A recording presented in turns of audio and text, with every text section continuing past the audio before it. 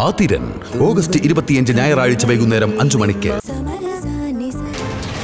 കൂട്ടിലടച്ചിട്ടും പ്രണയത്തിന്റെയും പ്രതികാരത്തിന്റെയും തീജ്വാല കെട്ടടങ്ങാതെ ഈ കാട്ടുമൃഗം വേട്ട തുടങ്ങുന്നു.